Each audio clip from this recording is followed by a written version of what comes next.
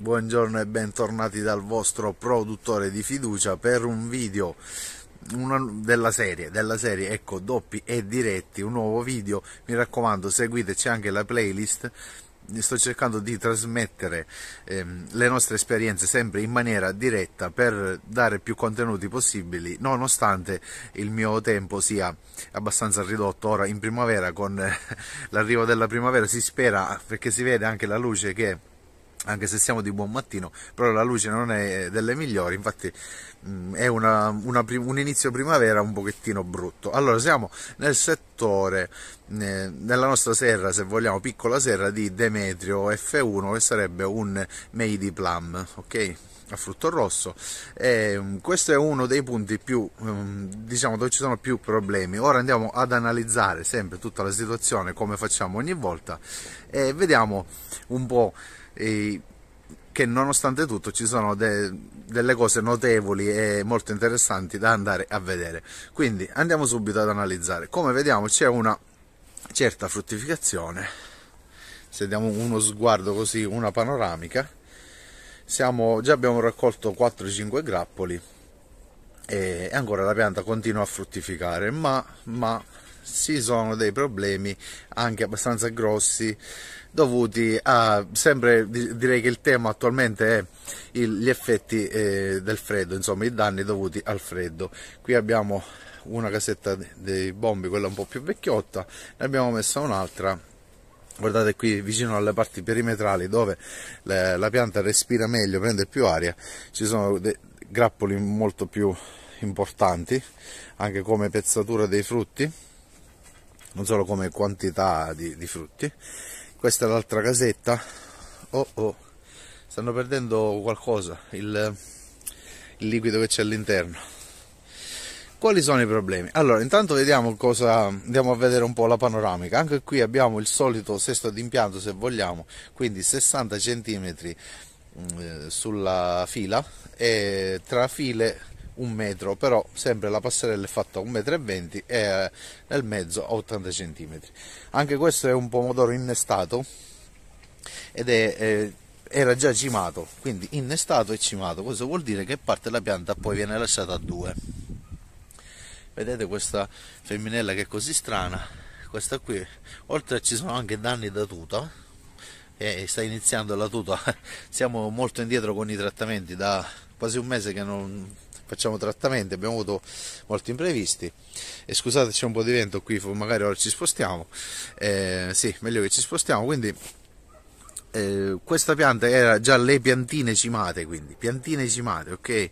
Eh, poi la, eh, siamo arrivati a un'altezza così, sempre un po' in obliquo, come vedete eh, la pianta è stata legata in obliquo, non tantissimo però, perché giustamente qui il peso c'è e no, non conviene mh, mm, metterla troppo in orizzontale perché sennò discende solo con la forza del filo, no? che noi non, non utilizziamo clip per eh, mantenere la pianta, giusto?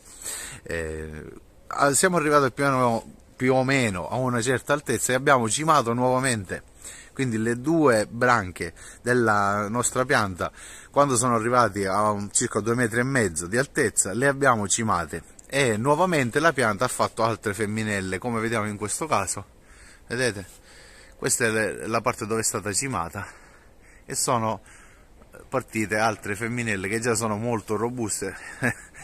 Vuol dire che la pianta comunque sia anche si vede dal colore della foglia ha una certa forza. C'è stato un forte stress, ora abbiamo tolto le foglie, però qualcuna vecchia c'è ancora.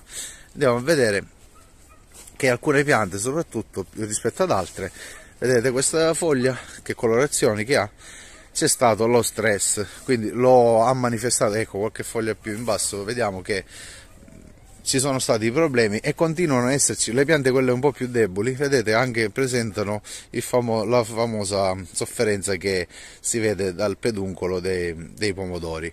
Va bene invece ovviamente quelle più scure piante hanno ecco tutto un altro status insomma anche i frutti sono migliori. Mm, questa debolezza in, in cosa si è eh, trasformato in malattie, come abbiamo già detto nell'episodio precedente, le piante quelle più deboli durante il periodo invernale da noi quest'anno è stato anche abbastanza, se vogliamo, gelido perché appunto ci sono state le gelate, vediamo che c'è la comparsa delle malattie, più o meno gravi. Qua questa è peronospora, quindi una malattia gravissima. Vediamo che ha colpito addirittura il fusto, però la nostra pianta sta continuando grazie ai trattamenti. Vi ricordo di andare a vedere, c'è un video dedicato proprio al nostro piano di trattamenti, vi ricordo bio, quindi con prodotti consentiti in agricoltura biologica. Se andate a guardare in descrizione troverete il link a questo video e ad altri molto importanti, c'è anche il blog dove um, ci sono delle schede proprio di come andare a utilizzare questi prodotti e, um, quindi vi dovete intanto iscrivere al canale se non lo avete già fatto ovviamente e date un'occhiata anche a tutto il resto ci sono sempre cose molto interessanti riguardo l'agricoltura naturale. Quindi vediamo stavo dicendo che i problemi ci sono e anche grossi. Alcune piante sono state magari colpite in maniera peggiore. Vedete qui la peronospora ha compromesso anche i frutti. Questi si possono anche andare a togliere. Qui l'operatore che è passato in questi filari non era uno dei migliori sicuramente. Vediamo che qui la pianta è un po' più uh, giallina quindi vuol dire che non sappiamo se riuscirà a sopravvivere a questo livello di malattia. Però se la tocchiamo all'interno è molto piena quindi non si sa mai cosa può succedere. E, ehm, si vede che la malattia è ferma perché non ci sono spore vediamo è completamente secco non ci sono spore, vedete all'interno la pianta è verde, anche questa femminella mezza morta stava facendo i frutti.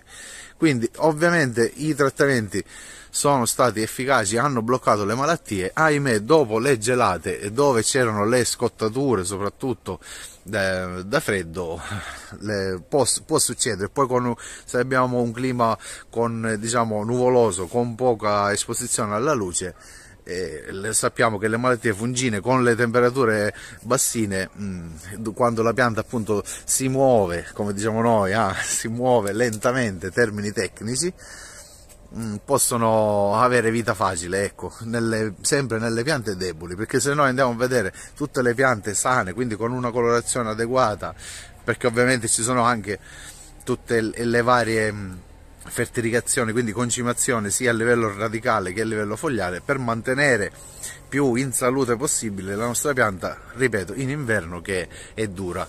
Per il pomodoro che giustamente in inverno non è il suo eh, diciamo, mese preferito, non è la sua stagione preferita, volevo dire. Eh, cosa che volevo fare vedere? Vediamo che c'è stato un discreto aumento delle temperature. Qui siamo, come dicevo poco fa, quasi a 4 settimane senza fare trattamenti e vediamo che c'è l'operato della tuta assoluta sta iniziando e dovremmo iniziare a trattare pure noi, ma eh, io vi consiglio sempre voi di fare i trattamenti almeno ogni 10 giorni, però noi non ci riusciamo sempre. Qui non so se riuscirò a vedere se c'è la larva all'interno, ma mi sa di no. Giustamente dopo tutto questo tempo, però se vogliamo ancora c'è una foglia qui e una foglia là e no, non è una cosa grave. Eh, bene, per il resto stavo dicendo per concludere questo mm, video doppio e diretto, quindi abbiamo cimato la pianta e sembra continuare bene, vedete? L'abbiamo cimata perché era in forte stress, ecco questo è il punto, vedete c'è sempre cioè, in questo punto mi sono messo qui appositamente, c'è veramente tanto uh, problemi ci sono stati con le malattie, però la pianta tutto sommato grazie a questa tecnica di doppia cimatura, quindi è arrivato a una certa altezza, la parte apicale l'abbiamo tolta e abbiamo fatto continuare le femminelle che sempre tendenzialmente sono meno irrigidite, ok? Quindi va bene per fare il nuovo, come si dice, fare continuare la pianta in maniera più se vogliamo, ottimale. E, e, ci siamo, dai, qualcosa sta accadendo, vediamo che le femminelle magari alcune sono più sottili, poiché appunto provengono da una pianta già abbastanza provata da tante cose, e, ehm, però continua la pianta a fruttificare, vedete, le piante eh, anche se hanno problemi grossi, sempre qui abbiamo peronospora, guardate che continuano a fruttificare. E abbiamo buone speranze per una mezza campagna primaverile anche. Ovviamente questo eh, pomodoro è stato trapiantato in eh, ottobre, giusto? Sì, seconda settimana di ottobre. Non ci possiamo aspettare di arrivare fino al prossimo ottobre in, in questa situazione. Ecco, potrebbe succedere in condizioni più ottimali, ma con questa annata così eh, gelida e soprattutto sbalzi di temperatura molto grossi, molti colleghi si lamentano appunto di questo. Va bene, io eh, vi ringrazio tutti come sempre, è stato un piacere essere qui con voi eh, e dai, ci vediamo al prossimo video, mi raccomando continuate a fare i bravi picciotti.